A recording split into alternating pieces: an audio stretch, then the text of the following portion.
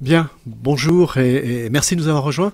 Nous sommes euh, aujourd'hui, alors c'est un, jour exceptionnel puisque euh, vous ne le savez peut-être pas, mais euh, nous sommes en, présence de Nation Data Center avec Okan Touridi et Eric Arbaretaz, qui société que l'on connaît euh, souhaitant à l'origine fédérer les data centers et qui nous fait alors l'énorme surprise, après avoir annoncé la construction d'un premier data center à Rennes, qui aujourd'hui vient d'acheter un très gros data center qui est à, Val-de-Reuil, hein, euh, disons-le euh, très clairement.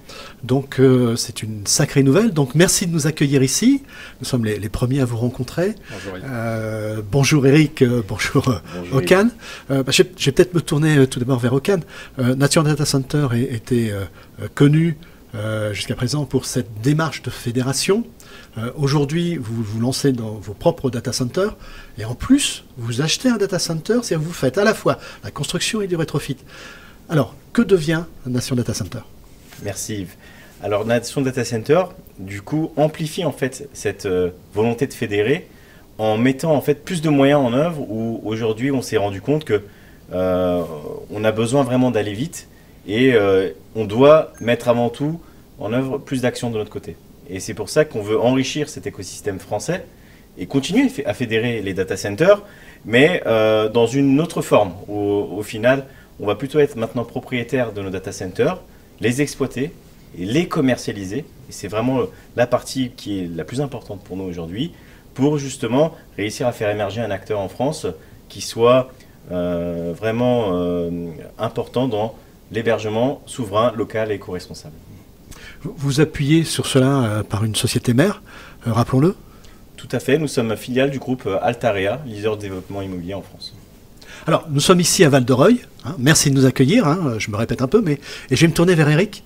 Euh, ce data center, on, alors on ne le connaît pas forcément parce que c'était un data center de banque, donc ils sont toujours, euh, ils respectent des règles de confidentialité. Euh, malgré tout, c'est un data center important. Est-ce qu'on peut évoquer pourquoi en termes de, volume, de salle et de puissance également? Parce que là, on est, il y, a juste que là, les, les trois groupes électrogènes, déjà, c'est énorme. Tout à fait. Donc on est sur un site de, 1,5 hectare. Hein. On a 2500 m2 de salle informatique et 2 MW de puissance installée. L'objectif pour nous, c'est d'augmenter cette puissance. Donc dès l'été prochain, en fait, on aura une première tranche de 3 MW IT en N. Donc effectivement, les travaux qu'on va entamer ici sont assez importants. Donc le niveau de sécurité physique va encore être augmenté. Donc on était sur un data center bancaire, mais on monte encore le niveau d'exigence. La disponibilité avec un schéma traditionnel en N et surtout de l'éco-responsabilité. Donc effectivement, euh, on va étudier beaucoup d'options pour réduire le PIE, pour avoir un PIE vraiment aujourd'hui exceptionnel de 1,2, avec à la fois des solutions de free cooling, donc on va étudier des solutions de, ici de géothermie, de valorisation de la chaleur fatale et aussi de création d'énergie renouvelable sur site, d'autoconsommation. Donc un site qui sera finalement très en avance, ce qui est étonnant puisque c'est un vieux data center, rappelons-le, il a 45 ans. Donc, euh, je me tourne vers toi maintenant. Euh, il y a une démarche écologique derrière aussi, ce qui est quand même important de, rappeler parce qu'il y a beaucoup de data centers aujourd'hui, des data centers privés, dont leurs opérateurs euh, quittent plus ou moins l'activité ou la réduisent, ils vont vers le cloud, ou ils ont tendance à, à concentrer leur partie informatique, et ils ne savent plus quoi faire de leur salle. Or, il y a toujours de l'espoir et on peut faire des choses intelligentes avec ces équipements. Absolument. Et c'est forcément mon passé dans l'immobilier qui fait que euh, je vois forcément quelque chose de très vertueux à travailler comme ça, où je veux profondément qu'on arrête d'artificialiser les terrains et euh, qu'on puisse justement réutiliser des actifs, des constructions qui ont été faites par le passé, qui ont, sont d'extrêmement bonne qualité en plus, pour justement leur donner une seconde vie, euh, tout en limitant justement notre impact carbone, mais en proposant des, des infrastructures de classe vraiment top niveau. Et donc, c'est pour ça que vraiment, notre priorité sur chaque ville euh, où on va travailler, c'est d'avant tout de euh, retravailler sur euh, des actifs qui peuvent être des friches, des anciens data centers, des anciens bureaux, des anciennes usines, pour vraiment arriver à occuper des mètres carrés qui n'étaient pas valorisés. Et également une proximité de la région parisienne euh, qui est quand même assez intéressante, puisqu'on est à 100 km, mais on n'est pas du tout sur les, les, zones que l'on sait saturer aujourd'hui. Tout à fait. Et c'est lié au fait qu'on sert avant tout les entreprises françaises. et on veut s'implanter au plus proche des entreprises qui vont s'installer chez nous. Et donc c'est pour ça que la région euh, Île-de-France, Paris est très importante pour nous, mais tout en ayant une certaine logique où aujourd'hui on n'est pas forcément euh, euh, on n'est pas forcément en bonne position pour trouver des terrains qui sont pertinents pour du data center et parce qu'il y a beaucoup de densité qui existe et donc du coup ce qui fait qu'on peut volontairement accepter d'être un peu plus loin que de Paris pour justement avoir la bonne proximité euh, et non pas se retrouver dans d'autres pays par exemple parce que on veut avant tout être proche des entreprises qui s'installent chez nous. Eric, on va parler un peu usage également. Euh, déjà, c'est un data center qui, il y a 45 ans, a été euh, construit pour une banque. Donc on est sur un niveau de sécurité, on ne parle pas de cybersécurité là, mais on parle de sécurité qui est extrêmement élevé. Tout à fait, un niveau de sécurité qui va être maintenu avec du gardiennage 24-24.